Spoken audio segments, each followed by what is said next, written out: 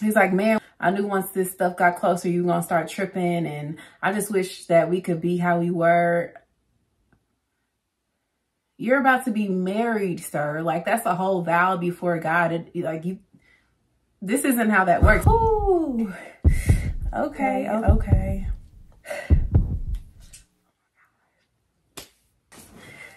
What's going on, you guys? Welcome back to the channel. My name is Bria K. If you are new here, welcome, welcome. Hello, hello. If you've been here before, what's up? Welcome back. As y'all can see by that title, today we're hopping right back into the single series, y'all. We had to get the holidays out the way and all that good stuff. But we are back in the single series. I know y'all didn't think I was finished. As y'all can see by the title, we are into another juicy story time today. Um. These stories are all facts. Nothing has been dramatized. This is my real life. And I'm here to share it with y'all. So without further ado, I'm going to be sharing today how I allowed myself to unintentionally be strung along for five years, i.e. Um, five years of side chick, and how I got blindsided again and he just married another girl. I know y'all like, dang, didn't that already happen to this girl? It did. It's, it's it happened to me twice, okay? All right. So if y'all see why I've been single for a minute, now you kind of understand, right? Because it, it was real painful. It was real painful out here for your girl. So, so today, I have an acai bowl. Dang, that thing look good. Dum, dum, dum. All right, so how did we meet, right? At my new school, and at my new school, I ended up pledging a sorority. A lot of y'all don't know that, but I pledged a sorority uh, towards the end of my college career. So with that, you know, it comes a lot of socialization and mingling and all that stuff. And your girl was young with lots of energy. So I was hitting the road, doing road trips, parties, all that stuff, right? It was winter break. It was like a, a month and a week or something like that. I'm not gonna say any names or any identifying features here. So if you can piece this together, you need to work for the FBI. All right. So this weekend was at the head of uh, winter break. So I come home, I go to the little, you know, fraternities probate. And then like maybe the next day there's a Greek party or there's just some kind of college party happening. So me and my girls, we go uh, to some fraternity house. Like it's just a mix of different frat boys who live in this house together, hosting like a pregame before this party. We get to this pregame and it's pretty chill. And everybody's just kind of doing their thing before we head to the party. We flick it up, take a few pictures. At this time, this is where I met, what's his name gonna be? Who sings that song, I Got Five on it? Since he took me through five years of this, I'm just playing y'all. We're gonna call him Pimpin. Let's call him Pimpin, okay? So Pimpin lived at this frat house. Cool. So we head to the party after we pregame at their house. And for some reason, I don't know if I left my ID in the car or at home or something, but this was a 21 plus party. So the bouncer at the door was just giving me all types of heck. And he like, no, you can't come in. Da, da, da, and I'm just like, dang. And at this point, most of the people we came with had already gone to the party. Like clockwork, Pimpin comes downstairs because like to get to the party, you, you go in the front door and then you go upstairs to the party. So for some reason, he came down right at the time that I was getting bamboozled by the bouncer. And he was like, oh, she good. She straight. Let her in. And I guess he knew the, the bouncer because he was just like that guy. And then he was like, oh, okay, go in, shorty. So I go in, go into the party, and we just have a good time. Like I didn't talk to Pimpin that night. I just had fun with my girls. Cool. That night ends. The next day, somebody ends up posting the pictures that we took at the pregame at Pimpin's house last night before the party. Somebody ends up posting it on Instagram and I got tagged. And it was, like I said, a group photo. And then I saw him. I was like, dang, okay. Y'all know how I am. I either like you or I don't when I first see you. So, mm. Mm. Mm. Mm. Mm. I was like, dang, he kind of cute. So I went to his page and I did what every person does when you're interested. I'm scoping the scene. I'm trying to see, is he connected? He got a girl, he got a wife, baby mama. Nothing. We in the clear. So This was before Instagram had DMs, y'all. So y'all had to scroll back like 200 weeks ago.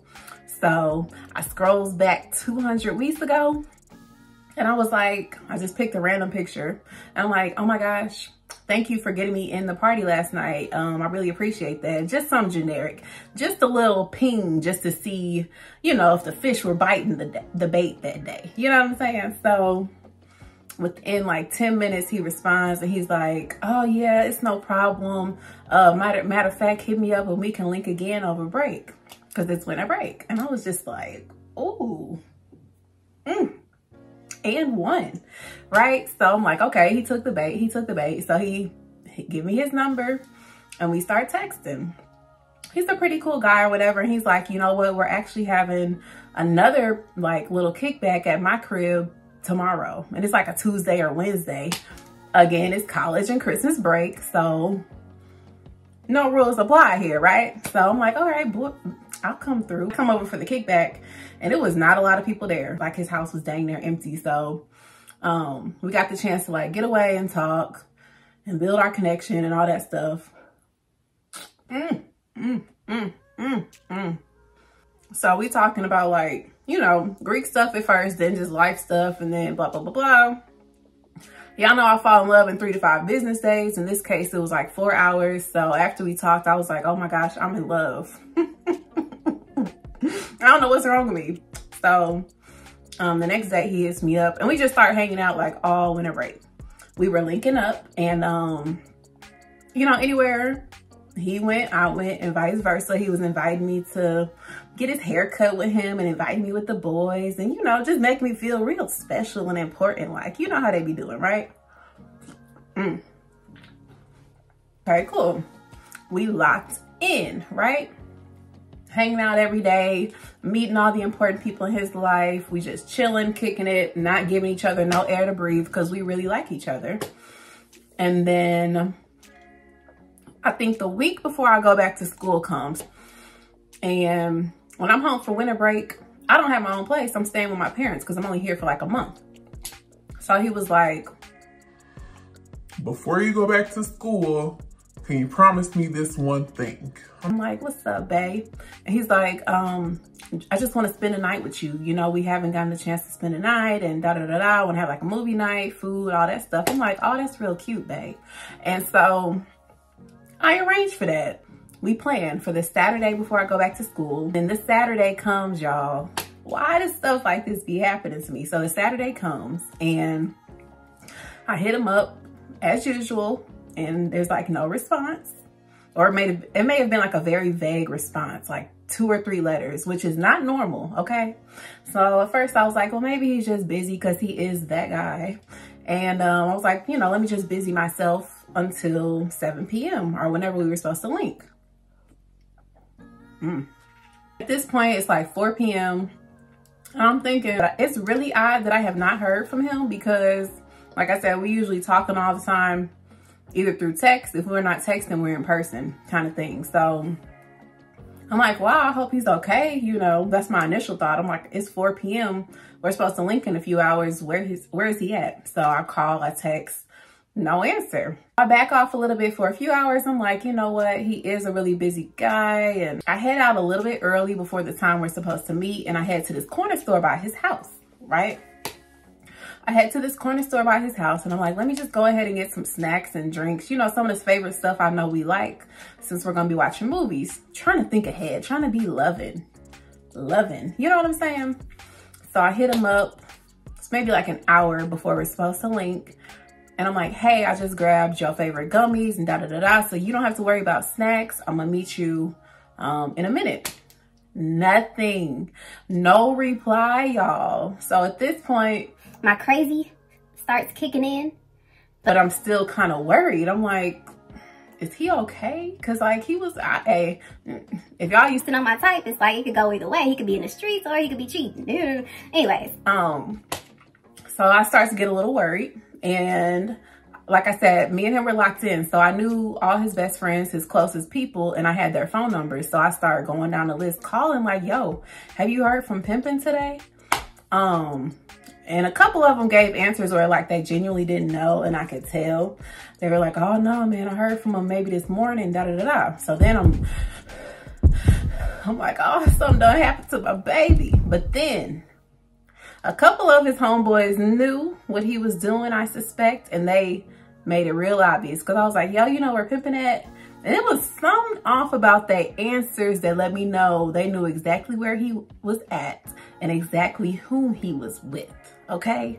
Sounding all nervous like on the phone. So I took that information and it just like jet fueled my crazy pack. Like it just fueled it up. I'm like, here we go. I was trying so hard, but here we go. Uh, so as I told y'all, I'm at this corner store right by his house. So I zoom around there. I've never done a drive-by. He had never given me a reason not to trust him before this. But after that, get up and go. I'm like, oh, we playing? So I go to his house and no cars are there. Dang, okay. No cars are there. His car is not there. His roommate's nothing. It's just an empty house, but it has lights on. So I'm like, okay.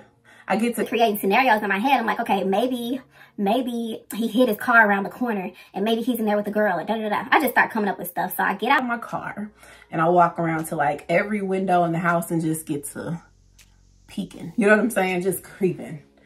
Nothing was there. Um, so I camp out for like two or three hours. I'm telling y'all, my crazy used to be like have no chill. I was like, I have absolutely nowhere to be. I'm finna catch him in the act. I'm finna catch him in the act, right?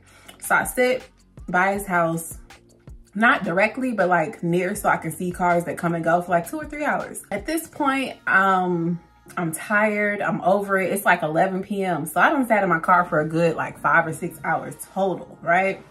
Crazy. So after this, I just go home feeling heated and defeated. I was both mad.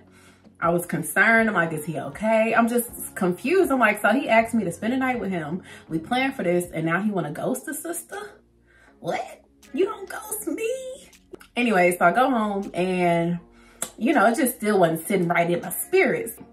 And I go to his Instagram and I start scanning comments.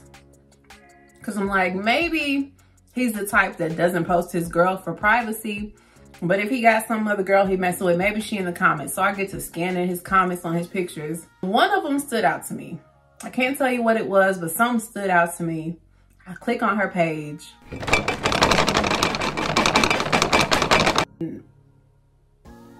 It clicks on my heartbreak. like, I don't even know how else to say it, but the first thing I see on her page, her page is public, and I see her kissing my boo like three, it said three or four hours ago. Then the picture before that was them boot up like two days ago. Then before that, it was like three days ago. So every time I was not with this man, he was with this girl who I didn't know who it was. I was just like so blindsided because we spent so much time together.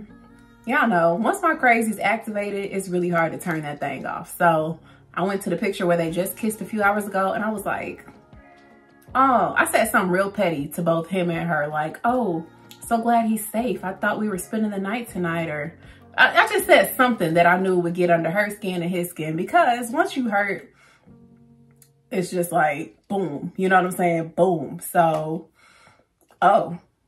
After I made that comment, he immediately calls me within like 10 minutes. I'm like, oh, bro, I thought your phone didn't work. Buddy, what's this? And he like, wow, why would you comment on her page? Sir, first of all, that's what you gotta ask me after all. No words. I end up going off on him and I'm like, we gotta talk. I'm the type of person like back then I wasn't cool with people doing me wrong and me not being able to speak my piece, right? So I was like, we gotta talk in person. Like I'm I'm livid. I just need I need to know why. I'm talking and he tells me uh, his ex hit him up and she was thinking about getting back together. And I'm like, well, you definitely could have updated me, homeboy. And I'm like, so what do you want to do? And he was like, I don't really know. He was like, she's just, you know, we had a talk. Okay. Um, so I go back to school. We didn't really end. We didn't end on bad terms. It was just kind of like in limbo. So when I get back to school, I get to hitting him up again. And he's like, you know what? I'm not really on with you on anymore. Now this is the point in time I should have stopped talking to him. I cannot stress this enough, ladies, but when a man tells you he doesn't want to be in a relationship or he doesn't want to XYZ, listen to him.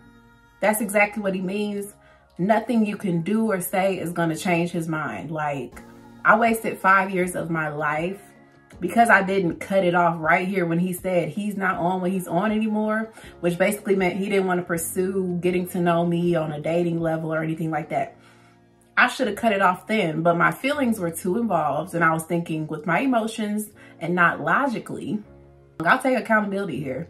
That led to me allowing him to string me along for five years until he married that girl from all the way back then. Yes, he married her, right? And he he flip-flopped between us all them years and maybe some other girls, who knows. But um, before I resume, I just want to say he told me in the beginning that he wasn't on what I was on anymore in so many words. So I should have left it alone, but I was a little Rottweiler. Like I didn't back down easily. Plus, like I said, we were both Greek. So we both were going to continue to see each other at events and parties. And when I came home, and that's exactly what happened. So anytime we were at a Greek, a Greek event or some kind of party or kickback or when I, I came home over break, we would link up. It was just inevitable for real. And our connection just kind of got stronger over time. It was like a homie, lover, friend type of thing. So we kind of entered this toxic cycle of dealing with each other and then not just based on whatever. This one weekend in particular was coming up that required travel, like a road trip. And he had did something to make me mad. I don't I can't remember what it was, but he was always just making me mad, like dealing with other girls and just real disrespectful stuff, but I allowed it, so whatever. And he asked me for money for something to get fixed on his car so that we could all, well, he could go to this big road trip event that everybody was going to. Of course, I was mad at him, so I'm like, I'm definitely not about to give you X amount of money. Um, and I, we just, you know, kept going on. So I go on this road trip and it's to my understanding that he's not coming because his car is messed up, okay? So when the weekend comes, he's there, plus like all his homies, best friends, whatever. I'm like, I thought you weren't coming. Low-key geeked. I'm like, my man is here. My bae is here. Ah. you know what I'm saying? So y'all happy to see each other, whatever. We kick it that weekend. I think Sunday or Monday comes and at like 8 a.m., I get woken up to a, a picture of my bae Pimpin, plus like uh, his his friends he had come with over that weekend, and it said like rest in peace. My heart literally jumped out of my tonsils. I'm just like, what? Cause you know, we all I saw was a picture of them, picture of Bae, and um rest in peace under it. So I'm like, who, who, who? I just get to texting everybody like, what happened? What happened? What happened? And um Come to find out that one of his best friends passed away. They had a car accident on the way home in which everybody in the vehicle was was ejected from the vehicle. And um, it happened because they didn't have that part fixed on their car. The same part that he, he was asking me to help him get, like help him pay for.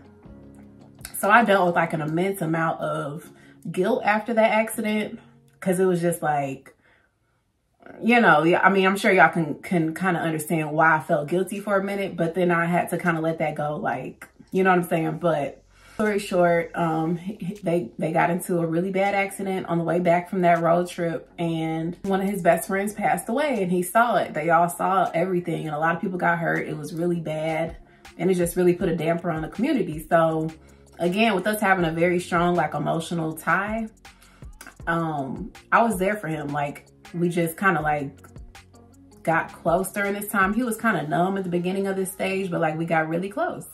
And so it kind of um, reconnected us a few years after we had started this little toxic cycle, right?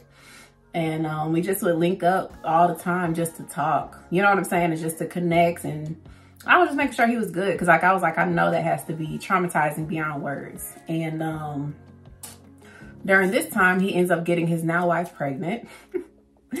so now he got a baby mama. The ex from the beginning is now his baby mama. It seemed like they were always fighting. He would always tell me they're not together. Um, and I believed him because like they didn't live together. It was just like a bunch of variables that made me honestly believe he wasn't messing with this girl. He just called her crazy, da da da. So he gets her pregnant during this time and that puts distance between us again, right? I'm like, ugh, that hurt me on another level. At this point, y'all probably like, girl, why didn't you know you were a side chick? He just got his whole ex from back in the day pregnant. I met this man's family. I know that means nothing now, but in my little immature brain, I'm like, I don't met his mama, his dad, half brothers, like everybody really close and important to him. And he was a private person. So I'm like, you know, I'm thinking that means something. He gets her pregnant and that kind of just, at that point, I'm like, ugh, like, ugh, super hurt or whatever. The baby gets here. Once the baby gets here, he starts talking to me again and I allow it because we just, I don't know, we just had this little tight bond that would not break. So this is probably about year three and a half or four of this escapades of whatever this is. And um, at this point, like I do what I do, he do what he do. He clearly still messing with his baby mama. So I get into a very abusive relationship, right? And I'll tell y'all about that on my next story time. I get into a very, very traumatic relationship, not with him, but with somebody else. So me and him go like for a long period of time without dealing with each other. I get out of that relationship and I come running back to him because he's my safe space. So we talk it through. He's there for me. This time he's there for me for my traumatic experience. And, um, you know, we back stuck like glue. This is like year four of this, right? Okay. So we back talking, back linking up regularly. Our connection is good, strong as ever. And I'm out celebrating something. I'm not going to tell y'all because that, that would just give it away. But I'm out celebrating somewhere. And the person I'm with is, is like deja vu from my first story time, but a different person. I'm out celebrating and I just get all these alerts that he just proposed to his baby mama. I was just with him two days before he said nothing of the sorts. He didn't mention her. As far as I knew, they were at odds. So I start seeing vi videos and pictures of him on his knees proposing to her. And I go off. I go clean off. Whoever I'm with, I'm just spilling all the beans. I'm like, I'm just over it. I'm like, this did not just happen to me again. It already happened like a few, like years ago and it's happening again. Are you serious? Like at this point, I thought we were good enough friends to be honest, like he could have let me know two days before that he was about to propose to the girl, especially because we were still um, homie lover friends, right? Still homie lover friends. He give me kiss on the cheek, you know, just treat me like bae. So he proposes to her and I just like blank out. I just start going off. I'm telling all my business. I'm telling all his business to whoever I'm with at the time. Cause I just, I was just like, what just happened? Like we were just good, like literally two days ago anyways, um, I guess he already knew I was about to start tripping because when I, like the next week comes, he's like, he tells me something like, basically his baby mother and her mom did not want her to be another statistic or single black mom. And so they kind of forced him to marry her or else she was going to move away with their kid. Something like that. It sounded believable. To this day, I don't know if that's truly what happened, but that's what he told me. So once I heard that, like a little dumb dumb. I'm like, oh, okay, well, you don't really want to marry her. Let's let's continue what we got going on, right? Dumb, dumb as a box of rocks. Okay. so as a, the wedding approaches, I start realizing like I'm not gonna continue this with a married man. And so, you know, we may be like six months out from the wedding at this point. And I tell him, I'm like, we need to cease our friendship or whatever this is now or just start trying to because I'm like, I'm not going to be able to see you every week anymore. We're not going to be able to talk, uh, you know, almost every day and all this stuff. When you're married, I honor God, I honor marriage, I honor all that stuff, and I want you to as well.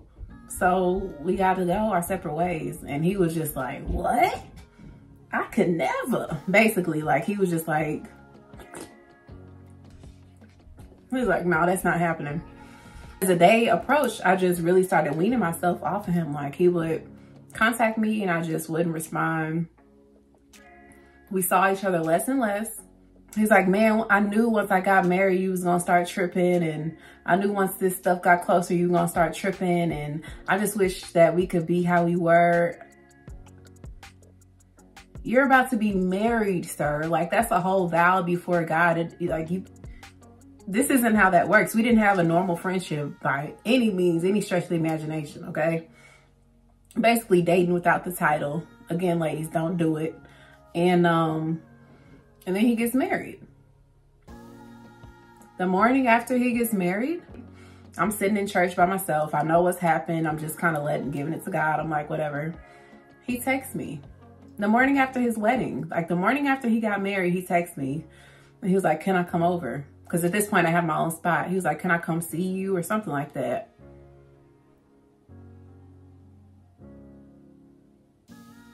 I'm utterly in confusion. Like I'm so confused. I'm like, um, did you did you just get married? So I think I said something like, I'm in church, God bless you and your wife. Some real short, blunt, petty, you know what I'm saying? Boom. He was married and I was done. Like I don't play with marriage.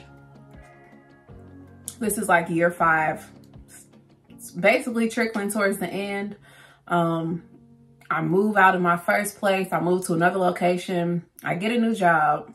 Lo and behold, the devil is in the details because I just got a new loft. I got a new job. It's in the heart of downtown, right? Okay. So during my training, the person who's training me takes me to his job. Two different buildings. Two different buildings, y'all. Like, I don't even know how this happened. Like I said, devil was in the details for real. Like, it wasn't nobody but the devil in my opinion. Cause like what? Anywho, so I get this new job and they tell me that I'm gonna be visiting different sites every week to conduct some, some type of business. The first site that I have to visit every week for a long chunk of time is at his job. Not only at his building and on his floor, but in the exact area that he works in. He's married. We haven't talked in months. I'm off the face of the planet in his eyes. So I was like, I don't know how I was feeling, but I, I knew once they said, oh, we're going to wherever we were going to, I'm like, oh my gosh, I know he works there. He's worked there for like a year. I'm pretty sure he still works there. So we pull up, we go to the floor and I sit down and I'm trained. The room I'm in, the door is open. And so whoever walks by can see straight in and they can see me. So I'm there for no less than 30 minutes and he walks by and he sees me. He walks back by he walks back by because I didn't tell him nothing. Like I said, we not friends at this point. He don't know nothing that's going on in my life, right? He keeps walking by and he texts me. He was like, um, like, do you work here or something like that? And I, I just told him, I was like, I'm in training and, uh, I just kept, kept it short. I was like, I'm, I, am i am in training. I don't work at your company, but I'm gonna be working with your company basically. And so he was like, well, let me know before you leave. And so he wanted to walk me to the parking garage, da da da da, da da da. So this happened like almost every week I visited him, but it started kind of like building that emotional bond back up because he would like walk me to my car. Then he wanted to buy me lunch and stuff like this. And I realized I had to even cut that off because I'm like, there's nothing wrong, but it's also nothing right. Like if his wife knew that he's simply walking me to my car. Like, in all the history, the five years of history we have, that's not okay, right? Um, so I stopped telling him when I was coming. I would go straight in the building, straight out, straight business. And um, I ended up getting a new job because I didn't like that job and I never saw him again to this day. It is 2023 and he just tried to add me on Facebook like a month ago, 2022. And he's done that. Like he tried to add me on Instagram, Snapchat, like wherever I may exist, he still tries to reach out to me. So um, that's basically it. Like I said, it was five years of side chick because we were dating without a title and then he married somebody else and then I cut it short. But I think I'm gonna go ahead and tell y'all next time how to avoid that and how to really see like if he's just not that into you. Although this story still perplexes me because the fact that he still reaches out to me, he's been married 18, 19, 20, 22 for like five plus years. I don't know. Y'all let me know what y'all think. I'm over it. I've, I've healed from this situation. It took a lot out of you, girl. I cannot lie. But let me know. Like, y'all let me know what y'all think about this situation for real. And um, I'll be right back here next week. And I'll talk to y'all soon. Real, real soon. Peace.